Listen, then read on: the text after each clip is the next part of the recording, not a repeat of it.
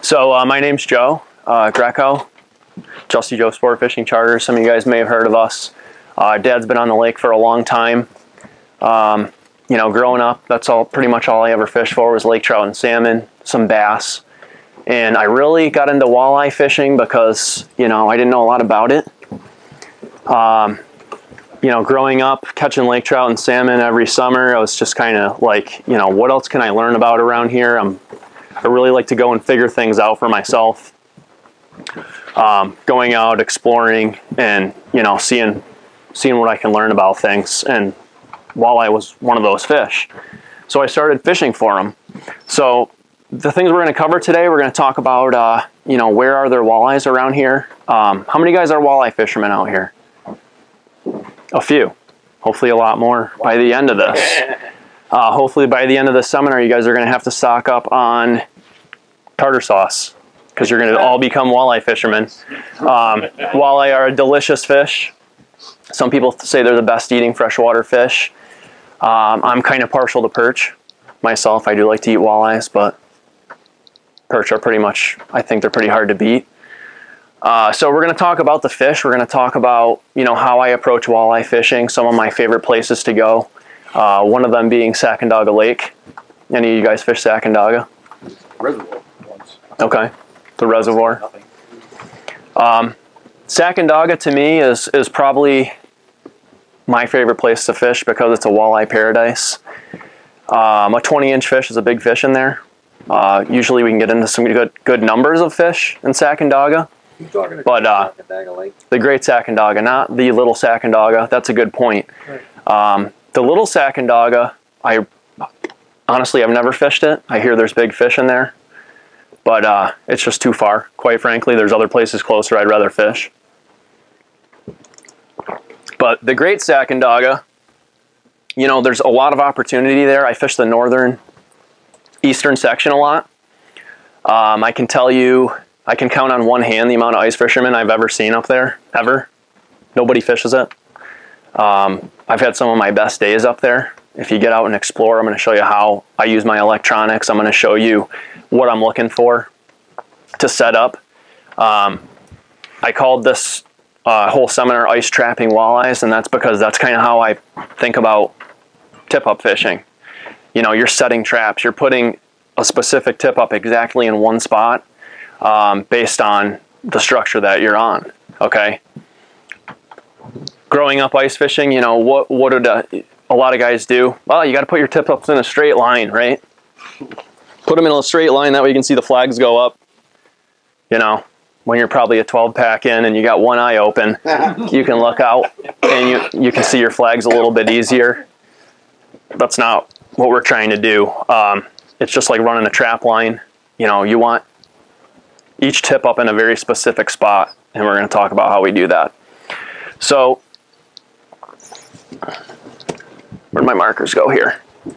I'm big on diagrams. Um, the first thing we're going to do is talk about calendar periods, okay? Calendar periods are basically what each fish is doing throughout the year. Each fish has a different thing that it does every month um, throughout these periods based on its life cycle, okay? Um, my buddy Shiloh, he's a big salmon fisherman. He could probably tell you everything a salmon does from ice on to ice out. Um, it's completely different from what a walleye does. Their spawning habits are different, their feeding habits are different. You know, the more you learn about each fish species, the more you're going to figure out their patterns throughout the year. Okay, and we're going to talk about how that pertains to ice fishing. Um, so the things I key in on with walleye, let's talk about the phases of what they do throughout the year. Um, so we got the spawn. All right, everybody knows walleye spawn usually somewhere uh, in March, April, in that range. Um, the reason that's so critical, even though the season's usually closed during the spawn, is pre-spawn can be a very good time. Puppy 200 bucks. Yes. Post-spawn can be a very good time. Okay. So we'll go right through. We'll go right through the calendar periods um, as I kind of envision them. Um, In-Fisherman puts out a great series for each fish species. You should buy the books. Um, I have the one on walleye, I have the one on crappie, I have the one on um, lake trout. Read that thing cover to cover several times, and it's going to really enlighten you on a lot of things. Okay? You can get them at Walmart. Um, a lot of Walmarts carry them. Obviously, the bookstore, you can probably get them online. In-Fisherman, whatever the name of the fish is, highly suggest you read it. Okay? Um, and they kind of break this down into calendar periods. They break down each species of fish into calendar periods because as you progress through the seasons, you should be thinking about what the fish is doing. Okay? So we start with the spawn. Uh, we go to post spawn. All right, the fish are done spawning. Can be a really good time, can be a really tough time. Um, not going to spend too much time on that. That's another seminar because we're getting into open water season now. So we have the post spawn, we have the summer period, which can be excellent fishing. That's kind of, uh, you know, once things stabilize after the spawn, uh, once the ecosystem comes to life and, uh, you know, everything's kind of happening in full swing, uh, that can be a really good time to fish walleyes also. Okay. Um, from summer, I'm going to go into turnover period. Okay. And we're going to talk about that for a minute, but again, we're not going to spend a ton of time on that. This is probably the toughest time of the year to catch walleyes and many other fish. Um, warm water species, the reason is because it's a time of instability. Uh, you know, it's usually that tail end of September, the first week of October, we start to get those first cold nights. All right, things all of a sudden go from the fish being in 82 degree water every day, which is late August, surface temps. You know, now all of a sudden those surface temps, they go down, boom, boom, boom every day. You know, you get a couple nights in the 30s and 40s and it throws everything out of whack. Um, that period of time can last for a couple weeks. This year, um, if you guys remember, October was a really kind of a tough month with the weather because we were kind of in this transition where summer was just didn't want to stop we had those really warm weeks in late September. It just kept going into October, and uh, that can make for really tough fall, tough fall fishing because you don't get that boom. All of a sudden, everything turns over.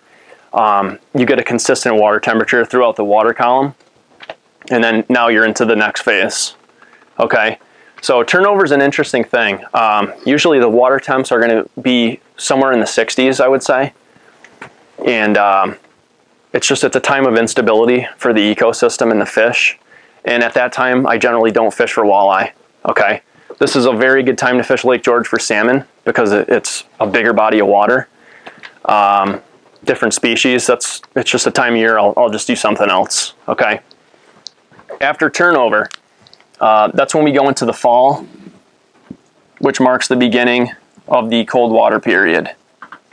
Okay. That usually, if I could put a temperature on that, it would be somewhere in the 50s, mid to low 50s. These are surface temps, of course. So once that happens, um, again, you've gotten stability in the ecosystem. The fish all adjust to what's going on. The water temps are very consistent. Um, this is also a time period where the night bite is going to start to turn on. Um, the fish are going to set up in certain areas, which we're going to talk about in a little bit and it's also uh, the time period just before first ice.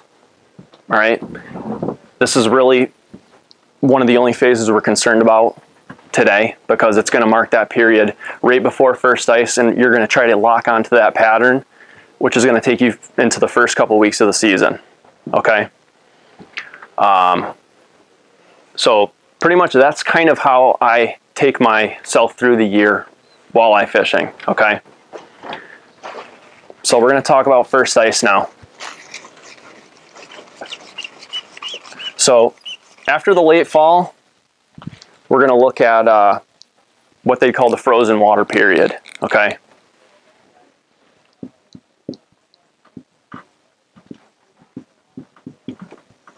All right. So it's important to know, obviously, fish do different things on different lakes, right? Um, perch fishermen, you know, Lake George, you might be catching them in 30 to 35 feet. You go to Saratoga Lake, you might be catching them in 20 feet. You go to your grandfather's pond, they're in 10 feet, primarily because the pond is only 10 feet deep. But you get what I'm saying. You're not going to catch perch everywhere in 10 feet of water, and the same thing's true with walleye. So let's look at some typical locations. Um, generally, by this time period, you have a lot of fish in shallow during feeding periods.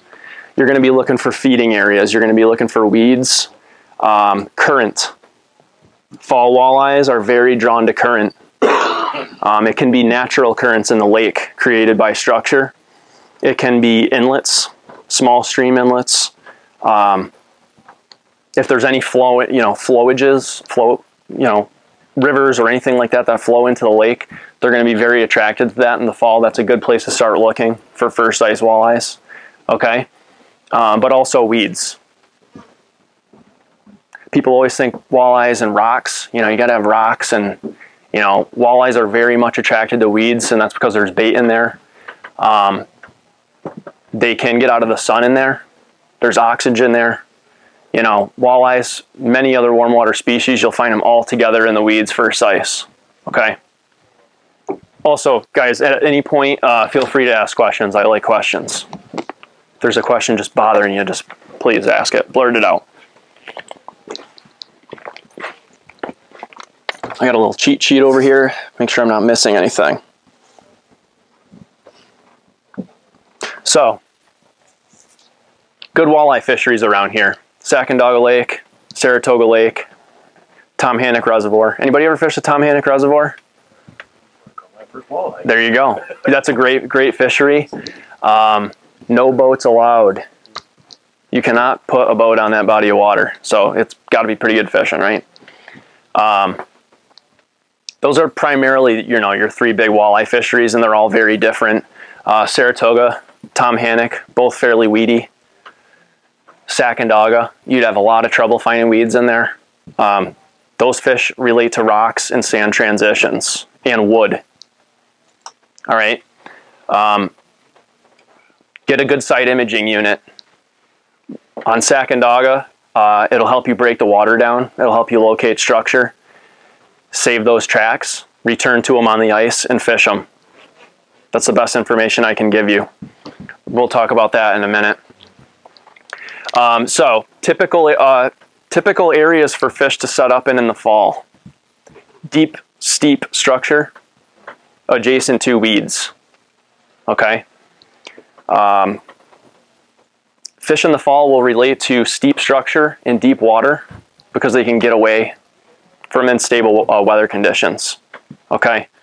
Um, if I could draw it out, you got a deep basin of the lake, you got a steep break. Okay. This being shore. Um, so usually what you'll have is some sand. You got your weed growth in here. And then it stops growing, okay? The key to walleye fishing weeds is finding weed edges. All right, weeds grow at different depths in different lakes. Um, there's some Adirondack lakes where you'll find different kinds of weeds at different depths. You might have some shallow grass in five feet. You might have milfoil beds in 10 feet. You might have really deep cabbage in 20 feet. The key is finding the edge, okay, and finding the structure near those edges. Walleyes are creatures of edges. Um, it could be temperature. It could be sand to rock transitions. It could be wood. It doesn't matter what it is. They use those like highways. They're feeding lanes. Okay. Um, so classic walleye pattern in the fall. You got this scenario here.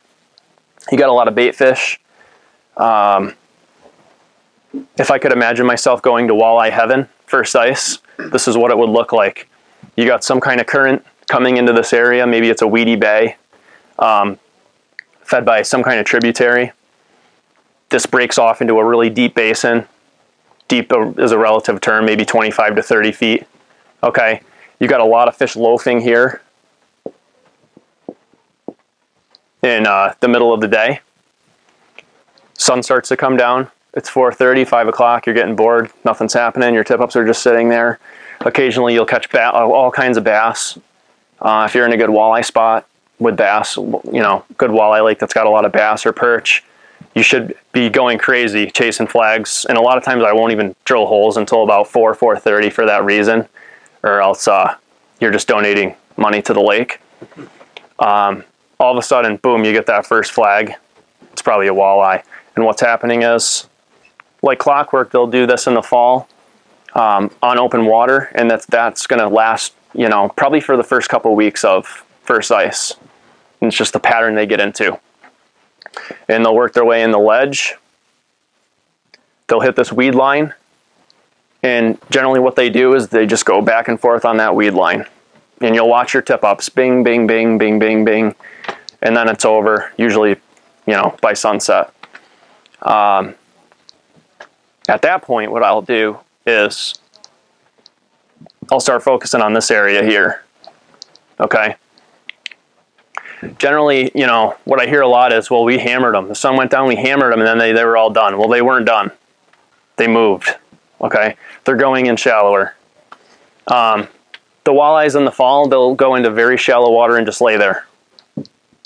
Because there's usually the young of the year bait fish, you know, they're still in the weeds and they'll just hang out there all night and they'll ambush them.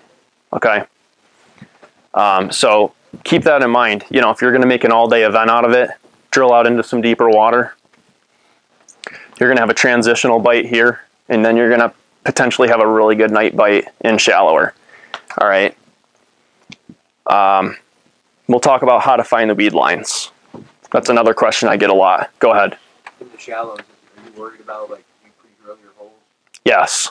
Good point. Have everything pre-drilled. Um, if you're going to go in the morning, early in the morning, generally I won't even, I'll just forget about this. I'll have all my holes cut, all my sets in before the sun come, well before the sun comes up, still in the dark. That's critical. Um, good point. And a lot of times, you know, I'll be out and it's 7.30, 8 o'clock, and then, you know, two or three guys come out walleye fishing and it's over. The bite's over, okay? You got to get out there early. I was gonna say, would you reverse that pattern for the morning? Hear you mention that. but- You could. I mean, generally, I don't get up really early and try to, you know, get onto the shallow fish because it's so shallow. You're probably just gonna blow them out of there. But um, you want to have all this stuff pre-done. Pick your sets up, move them in, move them in skinnier. When you were talking dog, how shallow are you talking? Uh, Sacandaga, generally the same, three to five feet Okay. or less. I mean, you probably have a tough time getting into any shallower than that. What are you using for a minnow selection? Are you seeing any rates? That's a great question. I was hoping somebody would ask that. Um, minnow selection is really interesting. Uh, I have a lot of buddies that they got to have um, baby suckers. I got to have suckers. They got to be this big. Nobody has them, and this and that. I've never used a baby sucker. Um, maybe they, maybe I would do even better. I don't know. I don't think it matters a whole heck of a lot as long as you have lively bait. Walleyes are a fish that live and die by vibration. Okay. The livelier the minnow, the better. I like hunts a lot because they wiggle faster um, versus a shiner where they kind of they get doing this a lot. But um, I I've gone back and forth with it, and I think on certain lakes maybe certain things work better. I like hunts a lot, and I like hunts on Sacandaga a lot because I think that profile of bait fish makes more sense to the, the smaller, thinner stuff they eat in there versus Saratoga Lake, for example, when the primary food source is baby bluegills, small sunfish, whereas a shiner has that white belly, that thinner, wider profile. Okay. But uh, the jury's still out on the bait. You're fishing at shallow water, are you fishing on bottom or in the water column? You get in the really skinny water, all your activity is above the fish's head. Put it right under the ice. All right, you get on the weed lines. I'm usually up two to three feet. Um, never far from bottom, but also you don't have to, you know, hit it with your sounder and then you got to be right on bottom. You know, they'll find it. Um, once they get into that five foot cone of the of the bait fish, they already know it's there. They can feel it. They come in and, and bam. All right. So now that scenario there was uh, kind of a weedy, you know, more of a weedy lake scenario. Now we're going to talk about Sacandaga a little bit. All right. Um, you guys use Navionics? Everybody have Navionics. If you follow this formula, I can just about guarantee you're going to stumble upon some good spots. And um, again, ice trap and walleyes. The reason I call it that is because it's a very systematic way of setting up a spread. You're letting them work. All right. You're either going to hit the jackpot or you're not. It's just like any other trapping system. It's just like guys fishing crabs, um, you know, on deadliest catch. They set everything out. If they're in a productive area, it's going to work. You know, walleyes are not a hard fish to catch. If you're on them, they're generally going to bite. You're going to catch them at the right time of day. Um, I can tell you, I can go out on Sacandaga with a group of three or five guys, and um, I'll draw one scenario up. This is the basin. I should say just an area of the basin. Um, and there might really not be anything out there, okay? But you might have maybe an underwater point that looks like this. All right. Now you got to remember that's flooded farmland and there's old houses. There's, um, you know, if you drive around out there with side imaging, I mean, you'll see all kinds of trees, blowdowns, foundations, rock roads. Uh, there's all kinds of crap out there.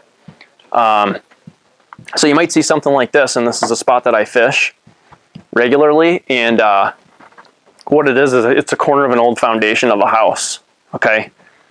Now, just looking at the map, you can already tell there's some um, bottom transitions here just by seeing it because if, if it wasn't, then it wouldn't be there.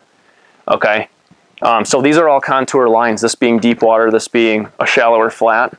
But this is very, I mean, you're talking, this might be 14 feet and this might be 16 here. And that might not seem like a lot, but out in the basin of that lake where there's nothing, that's very attractive to fish and that's very attractive to bait. All right, so a lot of times what I'll do is, you know, anytime you're fishing a point, you always want something on the tip, down the sides, on the deeper edges, and maybe you put two two up high on the top. Maybe you put one up in the flat. All right, and that's your that's your six tip up spread, assuming you're using one for jigging. Um, so, anyways, we went out there with a group of guys one day, and we just had this whole whole thing plastered. My one buddy up here, he was up here in La La Land, and he never got one flag up there, and we were catching them left and right off of this point. And I mean, that's just a very good example of how these fish use structure and how with your contour maps, your navionics, you know, get right out there and make sure every one of those tip ups you put out counts. Put it in a spot. You know, you might not get anything over here, but over here you might be lighting them up left and right. You know, then next time you go back, you know where to go. Okay, and that's how you do it. Um, if anybody anybody that fishes Sacandaga probably knows where the trap islands are. Um, you got I'm going to draw a really terrible picture of the Sacandaga, but it'll be helpful. So basically, this is what they call Sinclair Point. You guys hear of that? Um, you got Sand Island, you got Scout Island. All right. That's a channel that goes in between Scout Island and shore, basically. Um, out here in the middle of the lake, this is what they call the Trap Islands. And it's basically just a giant submerged island, really steep around the edges. Um, I could probably put 15 guys anywhere on that and they'd all catch fish. It's a great spot. All right, get out there and fish that. Um, there's a lot of series of points, sunken points out here. Okay, like that. Um, anywhere you go out there, you set up on the edges of those, put some up a little higher, put some down towards the base of the breaks, and you're going to catch fish. Out there, right? Eh, The Sacandaga is, for one thing, uh, the, the water levels fluctuate. So in the summertime, you'll be in 30 feet of water. Most of that basin is, is 30-ish. They lower the water in the fall. Now you're looking at maybe 20, 25. This year, probably even less because everything was really low. Um, so be mindful of that.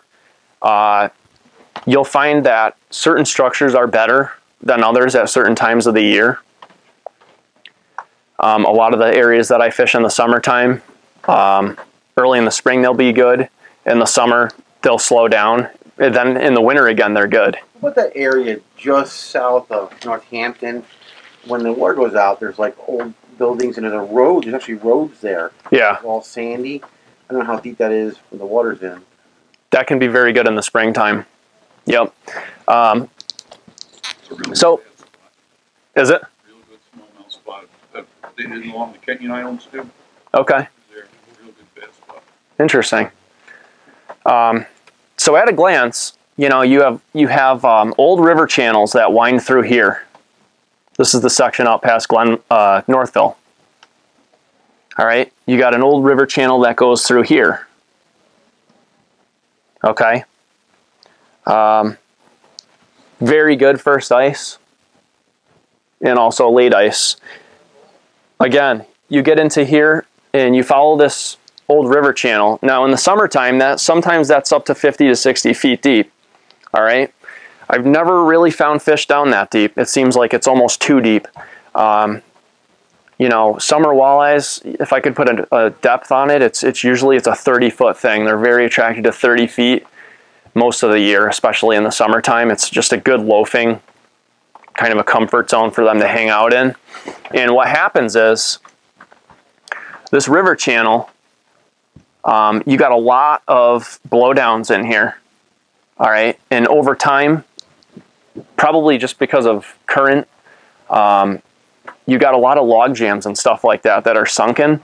And if you go through there with side imaging, you're going to find some really good wood piles. All right. The walleyes there, they love wood. Um, it's a great place for them to ambush bait. It's a really overlooked pattern for walleyes is, is finding them in wood.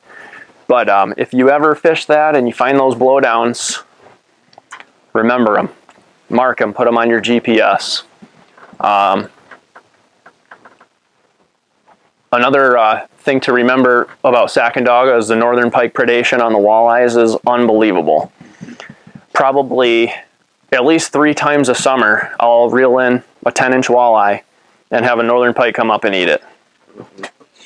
No exaggeration. Um, I'm convinced that's why the pike gets so big in there. Uh, there's a really good population of walleye in the Sacandaga, and the more you fish it, the better you're going to understand.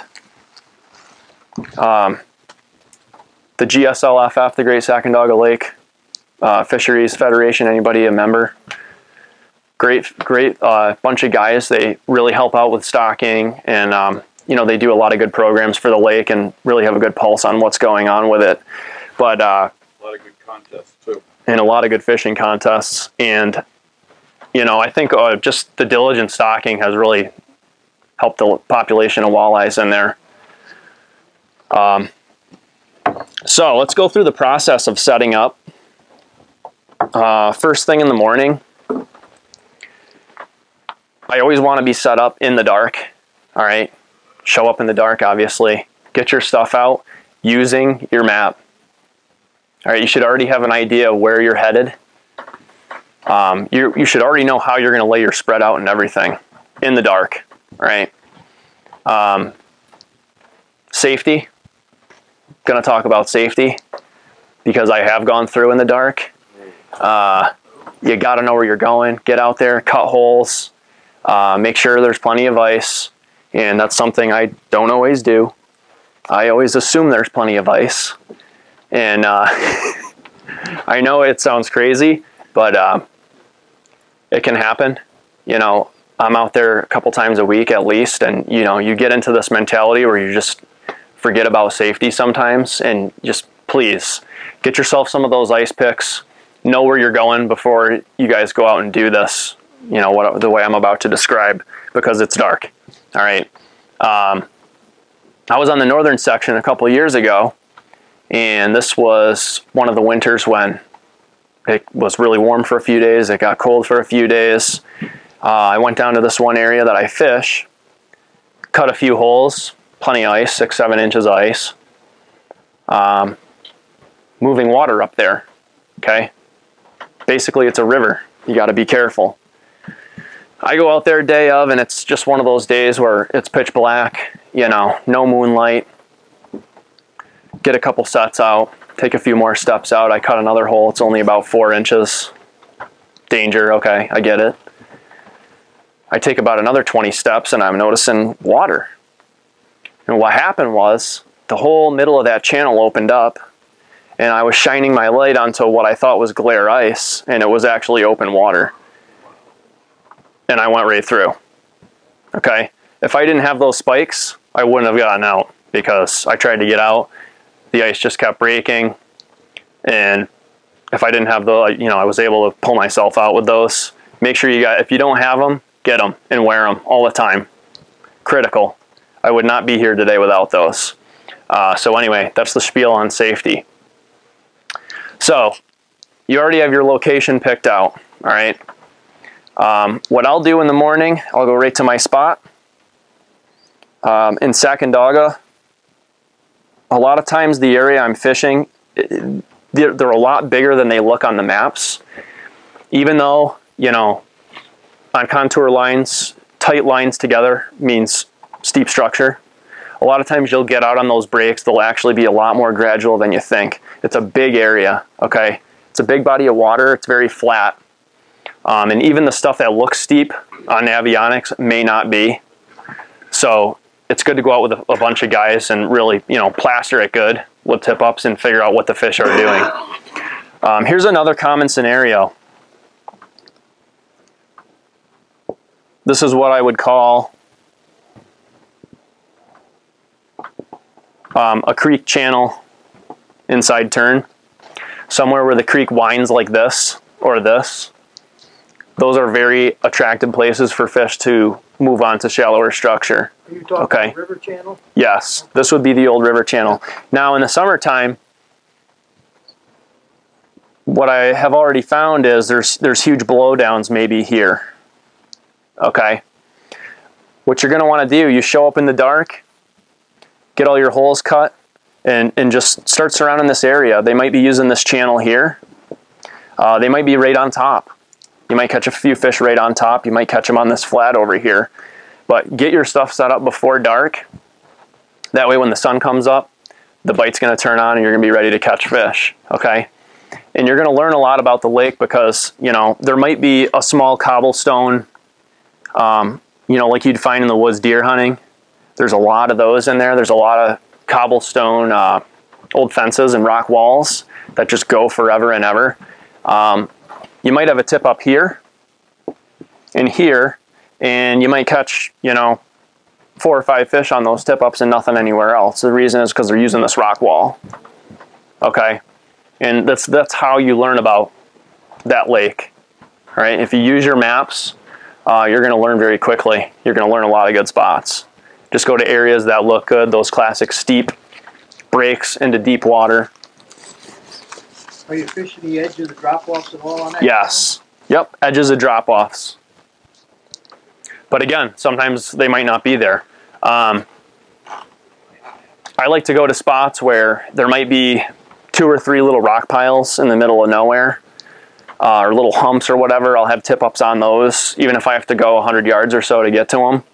Um, you know, that way you got a lot of things going on and you're testing a lot of different areas in one outing. All right, you're going to learn a lot about it. Go ahead. I was just wondering treble or single hook and what size. That's a good question. Um, again, I go back and forth. I love trebles, tens, usually size tens. If you're going singles, I like a four or a two. Um, singles don't come out. That's the one thing I like about them. I also think when a walleye inhales a minnow, a lot of times it's kind of a it's a lazy bite, and that treble hook is it's stuck on the outside of their mouth, and they might just swim around with it for a little bit. You go to set the hook, you miss the fish. Whereas a single hook slides in, you know, they can kind of get that in the first gulp a lot easier. Um, that's my theory anyway. It's a coin toss. They're all designed to catch fish, you know. That's a good question though. That's a good question. We go back and forth with that on spoons, you know. But Yeah. the northern end, there's a lot of uh, rock piles between beaches. Do you worry about them because they're not all that deep? Most of them. They're like boundaries between beaches. Do I worry about them as in I do fish them. Oh yeah. Um, I know what you're talking about. The big rock pile points that come down the beaches. They use them as boundary lines. Early in the season, yes. Mid season, you're going to see a shift to main lake structure. That's primarily a water temperature thing because come late January and f- into the beginning of February, it's all about water temperature. Um, the warmest part of the lake is going to be the bottom of the lake. So then that main lake structure is, is going to be a lot more attractive to the, all the fish, the bait fish, and, and whatnot. I do good with panties almost all year round there, but I've never caught walleye on them. That's why I'm asking. No kidding.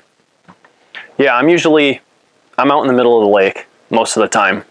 When you say northeastern, can you give us a, a landmark? Yeah, basically, um, well, everybody knows where the bridge is, Edinburg Bridge. That's a great area. I mean, that Batchellerville Bridge, that holds fish all year. You know, it's you could almost divide the Great Sacandaga into different lakes. You know, that being its own fishery. I mean, you could probably spend your whole life fishing that and not fish every spot in there. It's just it's huge. How about further north? Um, You get the, I've done good up in the town of Day. I have a few spots up there. near the Edinburg launch, Saratoga launch, Not familiar with that actually. Out of Pleasant date. Pines. The town of Day launch. Uh, not usually that side, but um, all in through there is good. You know, you get off of those deep points that drop into the main basin, and A lot of weeds in there. That's why I'm asking. yeah, yeah. I fished a lot of um, stump fields up there, Yeah, a lot of them. There's a lot of lures. And it's good. I mean, the Sacandaga is the kind of place you can go and catch one fish just about anywhere. You can go and catch a few. Uh, but you're really you got to look for that biomass. You know, just like all the crab fishermen always say, there's always a concentration of fish in small areas of the lake, and and you got to find them. Any place further north than that that you like? Um, not usually that far north. Where do you like to hook your minnow? Usually, right behind the dorsal, and I'm gonna I'm gonna get to some other things also here. Um, so this is another one of my setups. This is a slip bobber rig. Generally, if I feel like catching fish on a rod, I'll have two holes in my fish house. Um, early and late in the day, I'm not moving a whole lot. You know, I'm trying. I'm in one spot and I'm waiting for fish to come through. It's an ambush and um, I'll have my holes pre-drilled and I'll have the slip bobber rig on one and I might only put four or five tip ups out. Um, all this is is a number two, uh, it's a 32nd ounce crappie jig, okay? Split shot, slip bobber. Jeff has these upstairs. Um, what happens a lot of times, especially later in the season, you get a lot of customers customers are what I call fish that come onto the screen. They they see what's on the menu. They don't seem hungry. They don't want to bite. They go away. A lot of times, if you're starting to see a lot of fish show up and you, and you stop catching them on the jigs, a lot of times they'll see this minnow over here and they'll grab it, and you've called them right into the, you know, the area with the jig. So give that a shot. Um, I catch a lot of fish on this. You said you're a on that? Yep. And I lip hook them right through the tips of the lips. Usually they inhale this whole, they, they you know, they see the color. They inhale this whole thing and I, I have them just about instantaneously. I don't miss a lot of fish, believe it or not, even though they're lip hooked because it's such a thin wire. Um, it's such a really sharp, thin hook. It sticks them pretty good quickly. But you'll catch a lot of fish on this.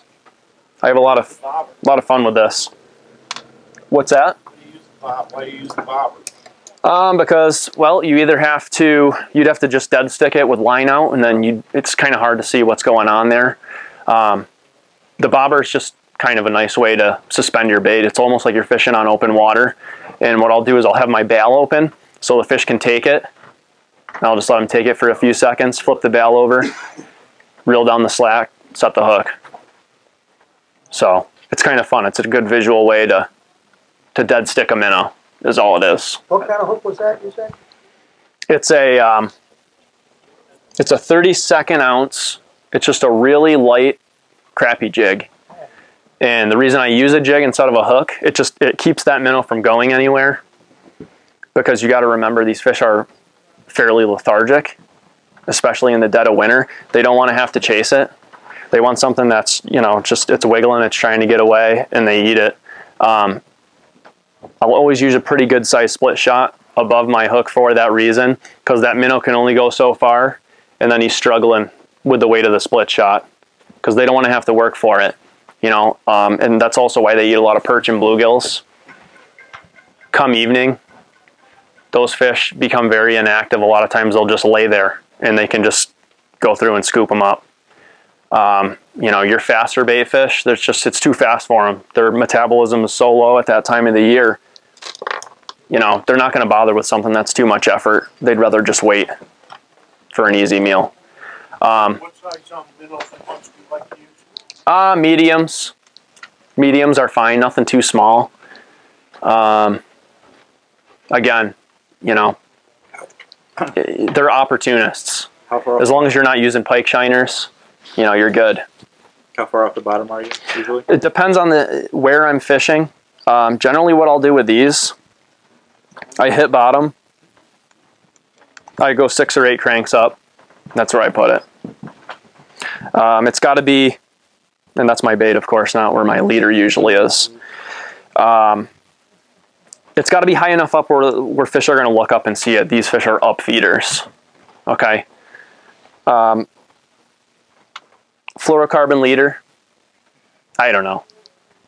I like fluorocarbon and I don't. Um, for salmon and stuff, yes, of course, you know, they're very line shy. For walleyes, when you're fishing in the dark, you know, these, those fish, they don't see the line. You know, you can pretty much get away with mono and you're fine. Um, and I almost like that better because you got to remember fluorocarbon is a resin-based line. It's brittle. Uh, you'll get a much better um, lasting leader out of monofilament because it's stretchier, right? Your knots are stretchier. Uh, fluorocarbon's very brittle, and uh, the knot strength's not as good, I find. Another thing you're going to want to do, reflective tape on your tip-ups. Um, anybody ever lose a tip-up in the dark? I have. It's not fun. You got to go back the next day. Um, and a little bit of reflective tape, that way you can watch all your flags at night. Okay. These are my favorites. They're polars. Um, I know they're, you know, they're not the fanciest tip ups. I don't do business for polar. I don't, they're just my favorite tip ups. They're easy. Um, you know, the wooden ones, they're a lot nicer and, you know, they got a nice finish on them and they're shiny. But you got to do the wing nut thing and then there's a little thing on the spool and, you know, fishing is all about efficiency. And I can get the spread picked up in no time. You do this, you reel it in, and you're done. With those, you got the wing nuts and, you know, the spool, and I don't know. That's just me. These are my favorites. A lot of them, the snowmobilers on that lake.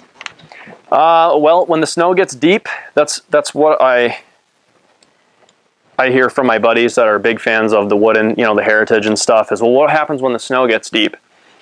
Honestly, when the snow gets deep, I stop fishing for walleyes because it's it's over. You know, first ice is the magic magic time, and then again on late ice, and hopefully by late ice, you know, you don't have deep snow. But uh, yeah, that's the one downside of these is, is the snow depth. But There's a lot of snowmobilers on that lake. there is. Um, you got to be careful, but I usually don't have a problem. One of the things you can do. So that's that. So is, um, Bring you something, bring you drill. And, uh, those, um, orange fluorescent sticks you can get at, uh, Ocean State Job Lot or Home Depot or something like that. those are great also. Kind. You yeah. Put them by your hole. This way you have a three foot orange pole sticking out. hmm Turn them over too. Um, You don't get a round big slip up that they can't see. You can get the ones with the reflectors on them or, or just the orange pole, the orange rod. And that at least increase your chance of being able to go home with what you came with. They're, uh, good point. drunken driver. on? Um, bait, back to bait fish, lively bait too. Go invest in a pump for your house, an aerator. It's the best twenty dollars you can spend. I mean, I keep bait all winter in it. That's all these guys do here. You wake up in the morning, you change the water, you put the aerator back on, and you're not throwing all your bait out at the end of the day because the guy at the bait shop was nice and gave you 19 dozen shiners. You know what I mean? So um, buy an aerator, save you a lot of money in bait, and it'll keep your bait lively. It's all about the, the vibration. Um, weather. Let's talk about weather a little bit. Because walleyes are very dependent on weather. Uh, they like stability. The moon is huge. Um, storm fronts, high pressure, low pressure. There's a lot of stuff like that I like to think about. And, you know, you can drive yourself crazy with all this stuff. If you go on uh, any weather website where they show you the barometric pressure, that's your Bible. Um, if you see a storm system coming in, you want to be out there the day before or the day before that, two days before, and watch that barometer. If you see that barometer start falling, that's your day that you want to go. Okay. Peak in the middle of a storm can be tough unless it's if it's kind of a lingering low pressure system. That's one of my favorite times. But if you get a sudden snowstorm or they're predicting 10 to 12 inches and you're out there covered in snow, generally that's pretty pretty tough fishing. Um, the day after can also be tough fishing. But watch the barometer, um, and it's it's really interesting because people associate low pressure with uh, rain. Not always the case. Some days you get rain and, and there's high pressure for some reason, and um, you might out, be out there wondering why the bite's not so good. That could be why. Moon phases, more critical in the fall. Uh, generally, before and after the full moon's really good. You're out there at night with a full moon, that can be pretty good on the ice. Obviously, they can see a little bit better. Um, contrary to popular belief, you know, a, a, full moon with no clouds might as well be the sun to the walleyes, especially on black ice. Um, we do a lot of night fishing in the fall, and some of the worst nights are the nights where, you know, there's a million stars out and the moon's just glaring because it hurts their eyes. I mean, any kind of light to these fish, these are light sensitive fish. Any kind of light, including moonlight, can be too much. So pay attention to what the moon's doing. Before and after is very good. And um, just, a, just a little bit of light can be very good. Too much is not good, I find. Some of our best nights are on a dark moon. So, what's that? High pressure, generally poor, but um, again, if there's movement in the weather pattern, sometimes that can be good. But again, I mean, sometimes you have the worst conditions and it's the worst time of year and you hammer them. I mean, these are all general guidelines of usually what happens. Okay.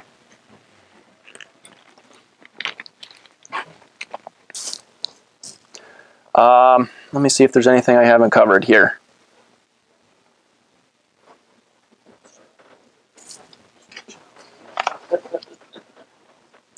But um, that's pretty much everything I, have covered, guys.